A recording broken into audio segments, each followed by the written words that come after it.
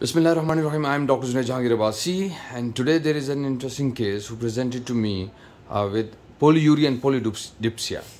Uh, he's Mateen, he is uh, two years old right now but at the first time when he presented to me he was only 15 months old and the parents told me that the child is having polyuria and polydipsia and initially he also had fever which was later settled. The child was not thriving well at that time. Still he's not thriving well. The child is uh, at, the, at the age of 15 months he was only 8 kg weight. So first of all i confirmed whether he has polydipsia or polyuria and whether he is eager to thirst. That means that whether he's always try to drink more or not? And what is the volume of urine collected in 24 hours? This is what you need to uh, measure exactly rather than believing the parents that how much water is he taking in 24 hours and how much water he is excreting in 24 hours.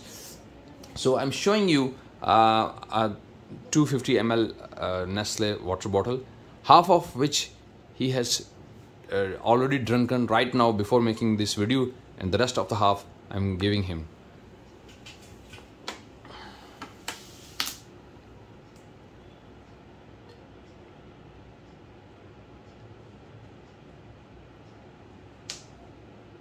so you can see that he is drinking eagerly आधी बोतलें already P चुका था और आधी बाकी भी एक सांस में पी गया।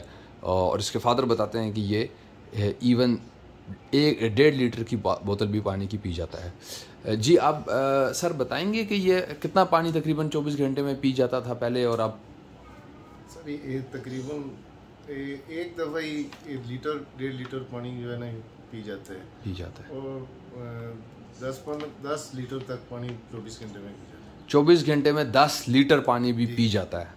अगर okay. इसको देना देते रहे तो दस लीटर भी पानी पी जाता है कभी इनकार नहीं करेगा। नहीं इनकार नहीं करेगा। अभी भी आप इसको बोतल दें एक और वो भी पी जाएगा। ठीक है। सही। Okay so after estimating the polydipsia i estimated polyuria and i collected urine in 24 hours. And uh, I was surprised that uh, 2.5 liters of urine is collected in 24 hours. That is 2500 ml uh, per day. And when I uh, calculated per kg per hour, then it came to be 13 ml per kg per hour and 312 ml per kg per day.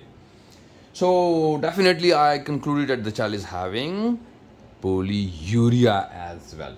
Now, having clearly defined polyuria and polydipsia, now I made two differentials in my mind.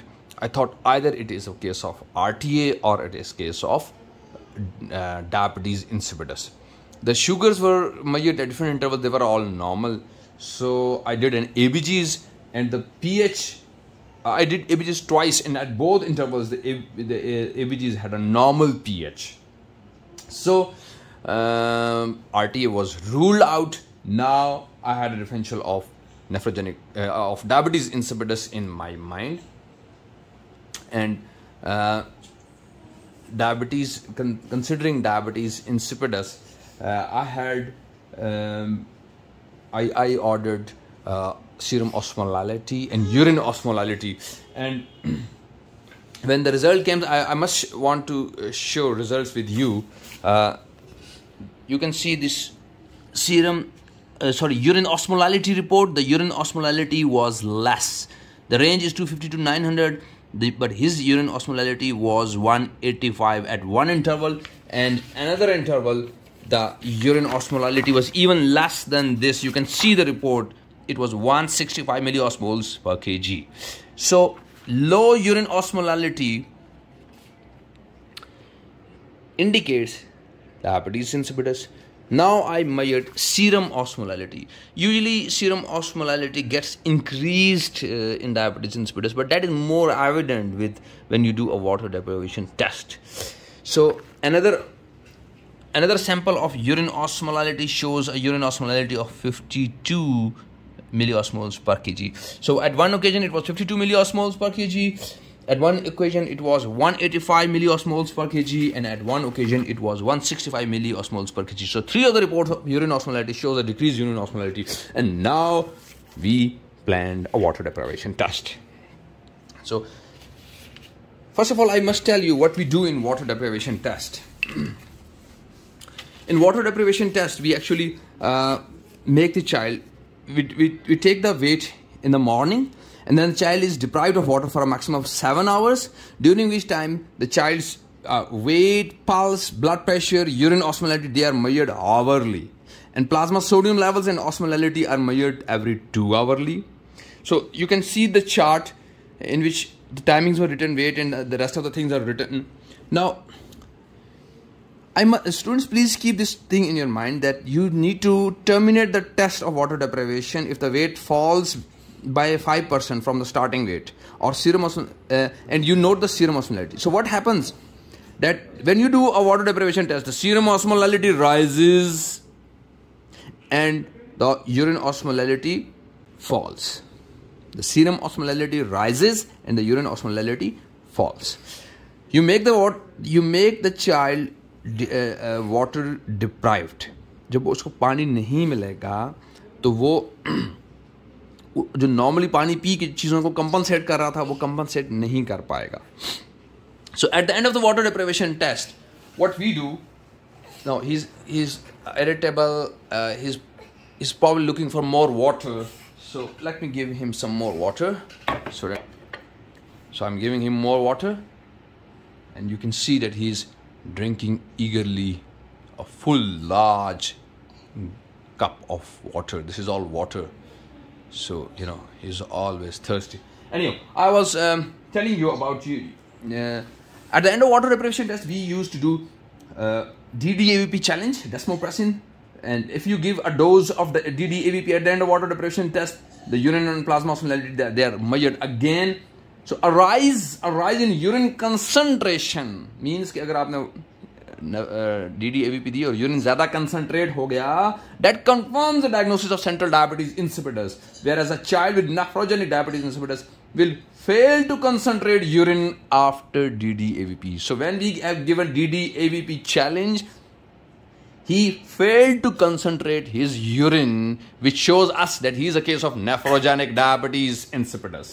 So having established a diagnosis of nephrogenic diabetes insipidus so having so you can see पहले भी P चुका है so already हमारे पास ये video start होने से पहले भी काफ़ी पानी वो पी चुका है so you can let me having established diagnosis of nephrogenic diabetes insipidus let me tell you what are the causes of diabetes insipidus diabetes insipidus can be central can be nephrogenic the central diabetes insipidus causes can include uh, so the central diabetes insipidus can be due to craniopharyngioma, it can be due to germinoma, can be due to Langerhans cell histiocytosis, it can be idiopathic and it can trauma can also cause the central diabetes insipidus along with infections of CNS. Remember that certain drugs can also cause central diabetes insipidus like phenytoin, ethanol, opioids, alpha-adrenergics and halothane. And then there are nephrogenic then there are causes of nephrogenic diabetes insipidus nephrogenic diabetes insipidus can be caused by x-linked nephrogenic diabetes insipidus or it can be also secondary to renal damage and there are certain drugs which include foscarnet, clozapine, methicillin, amphotericin, rifampicin, and lithium toxicity. They can also call, uh, they can also lead to nephrogenic diabetes insipidus. So once establishing the diagnosis of nephrogenic diabetes insipidus, uh, we started a combination of indomethacin and amiloride. Now let me tell you the treatment of nephrogenic diabetes insipidus. In, in, in nephrogenic diabetes insipidus, we, we need to eliminate the underlying cause, we need to give adequate calories for growth, and we need to avoid severe dehydration.